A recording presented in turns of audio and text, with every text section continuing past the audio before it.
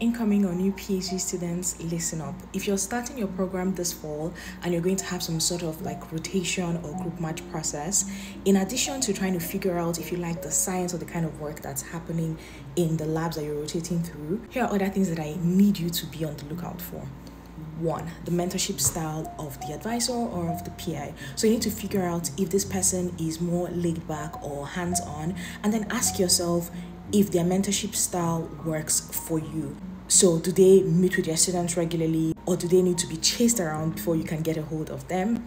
The second thing is definitely just like the general vibe of the PI and also the vibe of the people in the group or in the lab. Because remember that you're going to be spending anywhere from three to five plus years with these people, and it's just better to have like at least a cordial working relationship with them.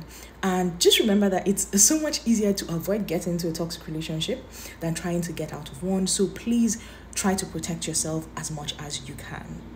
And then finally, you should absolutely ask what the average graduation times are in the different labs that you're rotating through.